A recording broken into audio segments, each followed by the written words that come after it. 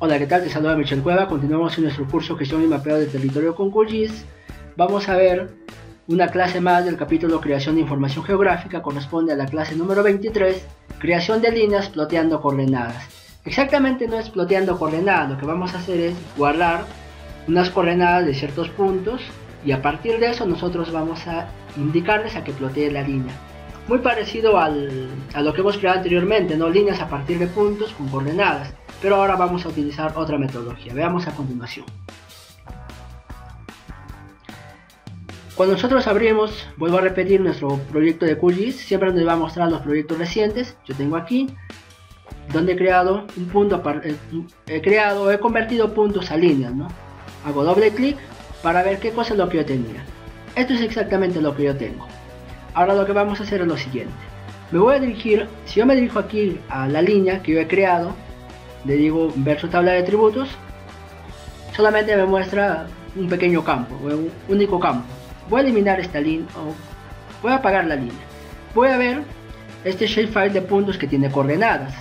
Para ello me voy a su tabla de atributos y veo aquí que tiene el nombre, a qué empresa corresponde, porque recuerden esto se trata de centrales hidroeléctricas del Perú, qué longitud y qué latitud tiene. Aquí siempre me muestra en QGIS un pequeño problema de que cuando los espacios me lo representa mediante este icono, las señas también muchas veces lo representa así y también las tildes lo representa así. Para corregir esto vamos a hacer clic aquí en este icono que dice conmutar edición y aquí me permite modificar. Yo puedo acá modificar, voy a borrar este espacio este símbolo y doy un espacio. De igual manera voy a borrar este símbolo. Doy un espacio y acá debe ser con ñ y con, con tilde. Una vez que he terminado puedo decirlo a este icono donde dice guardar ediciones. O puedo terminar la edición o dejar de conmutar. Me cambia de esta manera, ¿no? Como regreso a la pestaña anterior mediante este icono, por acá pueden verlo, donde dice cambiar a vista de tabla. Hago clic ahí y me ha cambiado y ya está corregido. ¿Qué más? Quiero utilizar estas mismas coordenadas pero con, solamente con dos decimales. Es decir, voy a crear aquí nuevos campos. Para crear nuevos campos, en primer lugar, debe estar activado aquí el modo edición. Lo está porque está seleccionado.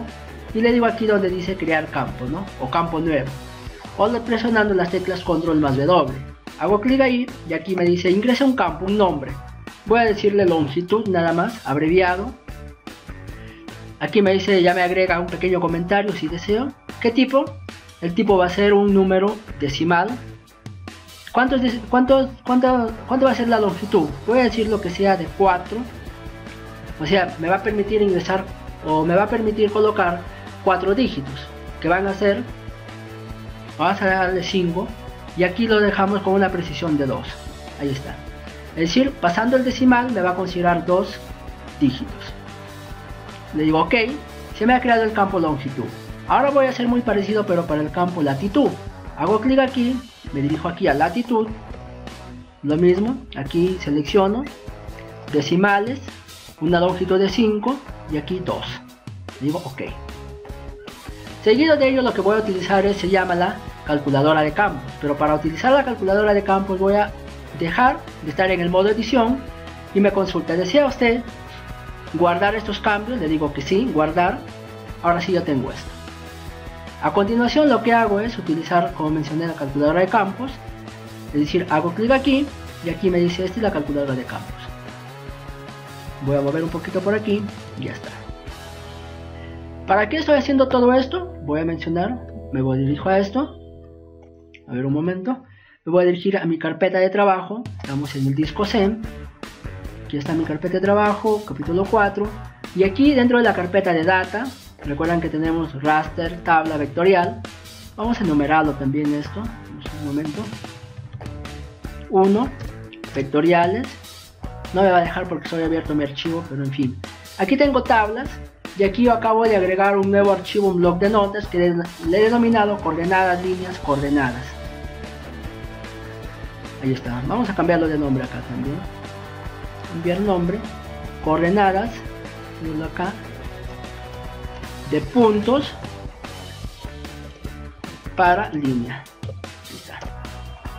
Si hago clic aquí voy a ver esto.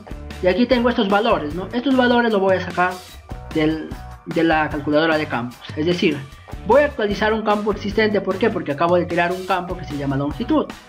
Me dirijo acá longitud. Seguido de ello, me dirijo a la opción que dice geometría y voy a buscar que me haga la operación como la longitud me representa el X. Hago doble clic aquí y automáticamente me marca aquí y le digo OK. Y se dan cuenta que hace el, cálculo considerándome solamente dos decimales, es decir, está haciendo el redondeo a dos decimales. Lo mismo voy a hacer con latitud. Debo dejar desactivar esto, le digo guardar. Me dijo la tabla, la calculadora de campos. Lo mismo, actualizar un campo existente. Ahora lo voy a realizar con latitud. Seguido de ello geometría. Como la latitud me representa el norte, voy a hacer el cálculo con la coordenada Y. Por lo tanto buscaré la coordenada Y. Aquí está. Doble clic, le digo OK. Y aquí me hace el cálculo y finalmente yo puedo finalizar esta edición guardándole. Y aquí, yo ya tengo, ¿no? Si yo activo esta línea, recuerden de que para mí esta es la línea 1 y esta es la línea 2. Entonces yo hablo, yo aquí tengo mi blog de notas con el siguiente formato. Vean esto. Aquí está. Voy a colocar acá esto, geo, este símbolo, name y coloco list string. Aquí la, la coordenada de la latitud, que es el x, la coordenada de la longitud, una coma, el siguiente punto y así sucesivamente. Por lo tanto, yo me dirijo a mi tabla de atributos que yo tenía por aquí, Ahí estamos. La coordenada del punto número 1. El punto número 1 tiene menos 79, 42. Aquí es el punto número 1. Vamos a, vamos a corregirlo esto. Porque tiene de la siguiente manera. Me dice que la longitud es menos 77.83. Aquí será menos 77.83.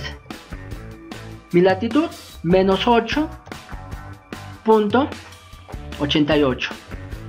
Este es el punto 1. El punto 2 se irá a esta zona de Carvaquero. Por lo tanto, mi segundo punto será menos 79.42 y mi último punto será menos 6.47. Ahora la línea 2 va a tomar como, como punto de referencia a este mismo y, va, y el otro punto va a ser gallito ciego. Entonces, el punto 2 quiero que lo hagan de menos, a ver, menos 79 punto 42 es en la, en la longitud y en la latitud menos 6.47 menos 6.47 y mi último punto será menos 78.88 y aquí la latitud será menos 7.19 19 y aquí esto me representa acá me está diciendo no cuál es la geometría de esta línea aquí está ¿Cuál es su nombre? Línea 1 y línea 2. Listo. Digo guardar. Este es el mismo archivo que nosotros le hemos guardado aquí, coordenadas, point línea. Coordenadas para convertir de punto a línea, ¿no? Ahí está. Ya está. Ya esto ya puedo cerrar esta ventana. Voy a ocultar estos puntos y voy a crear aquí la línea a partir de esas coordenadas que yo, acabo de guardar bajo ese formato de geometría con un nombre. ¿Cómo agrego yo una tabla de, desde un blog de notas? Aquí tengo este icono que se llama añadir capa de texto delimitado. Hago clic ahí y lo que voy a hacer es buscar mi archivo. Para buscar mi archivo me dirijo a mi directorio. Damos capítulo 4, data, tabla y aquí tengo coordenada point to línea. Y digo abrir. Espero a que me reconozca esto y aquí debo seleccionarlo. Automáticamente me reconoce ya, ¿no? pero siempre es bueno que se den cuenta que quiero estar seleccionado texto bien conocido o, también aquí está WKT. Campo de la geometría, recuerdan el encabezado que era geometría, símbolo, name. Luego, una vez que he reconocido, aquí me, acaba de reconocer, debo asignarle un sistema de coordenadas geográficas, o perdón, un sistema de referencia coordenadas. En mi caso lo voy a dejar que lo siga haciendo con coordenadas geográficas y simplemente le digo añadir añadir y le digo cerrar o, close. Como pueden ver aquí me ha creado la línea, ¿no?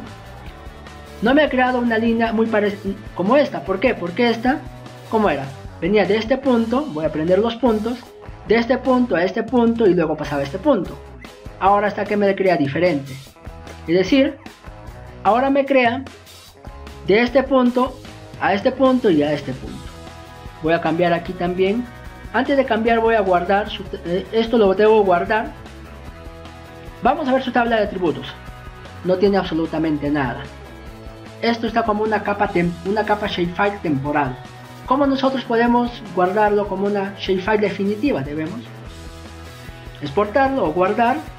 Aquí debemos buscar el nombre. Estamos en aquí en esta carpeta, ejercicios vectorial. Y aquí ya está como archivo shapefile. Y ahora le voy a decir solamente que sea, a ver,